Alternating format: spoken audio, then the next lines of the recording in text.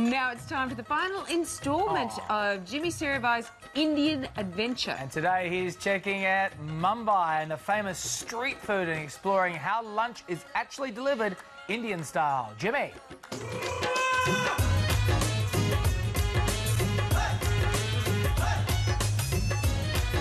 With a population in excess of 20 million, Mumbai, formerly known as Bombay, is one of the most populated cities on earth, where beautiful colonial architecture dominate the bustling streets of Bollywood dreams. Mumbai is a melting pot of flavours from all over India, and the most important attraction here is the spicy street food.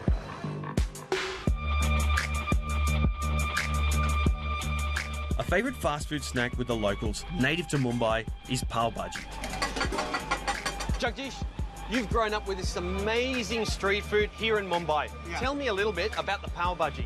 Pav bhaji. Bhaji, a combination of mixed vegetable, Yes. combining steamed potato, tomato, French beans, cauliflower, Wow. So a, and peas. so it's a complete mixture of vegetables, Yes. fried in butter, Yes. fried with bread. Sounds Right. amazing. I might have to order one. Please.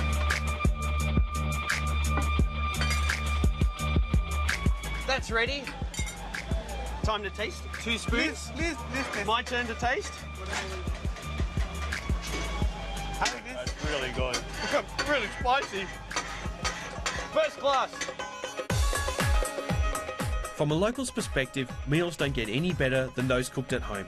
And for over a century, office workers have been having their lunch delivered by Mumbai's famous Dabbawalas. Tiffin boxes containing hot meals are collected in the morning by bicycle.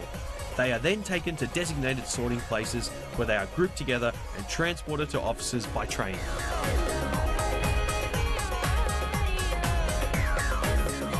Munira uses the daily Dabbawala service to deliver lunch to her husband.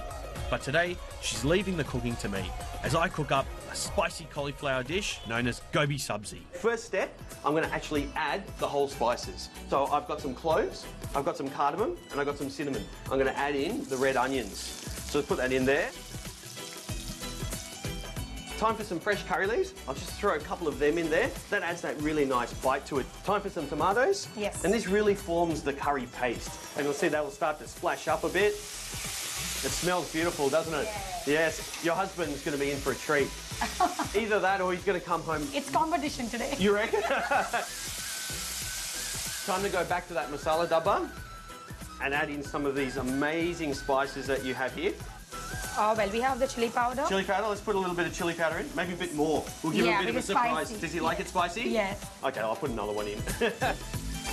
This is the coriander powder, coriander powder, so we'll put a bit of coriander powder in. cumin powder. Some cumin powder? Yes. Perfect. We'll put The turmeric. and some turmeric as well. And there's our spices in. Sure. Okay, that curry paste is now nicely formed. Just gonna throw the cauliflowers in. Yes. and we'll let that cook down till it's nice and soft. It's been about five minutes. Cauliflower should be cooked. How's that look? Yeah, very good. Perfect. Yes. Time to close it up. Straight on the top. Time to go with the Dabbawala.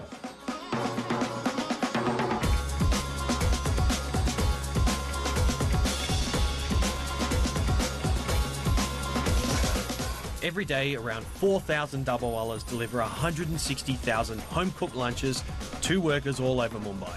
And they claim they make less than one mistake in every 6 million deliveries.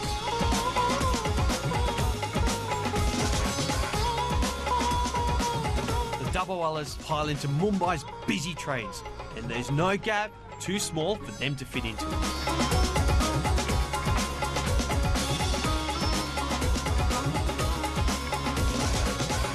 Well, it seems the lunchbox has arrived safe and sound.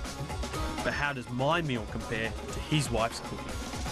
Hello खाना कैसा लगा अरे खाना कैसा है? आपने बकवास बना दिया उसको क्या हाल हो गया खाने का ठीक है ठीक है शाम को मिलते हैं okay Okay. What did he say? Well, he really loved the food. You loved it. I knew it. I knew it. All these years I've finally come to India and I can cook the food. Mm, Yes? well, the competition was tough. Very tough. Sonia and David, I told you I was the fourth best cook in the country. Got it. Fourth best. Fourth best. love Aim it. high, Jimmy. I think you get a discount if you order that online. Um, for all of the details on how you can experience the amazing culture India has to offer, simply head to the tourism website, incredibleindia.org. That's right, you can find all the information on tours, flights, and hotels so that you can plan your very own Indian adventure.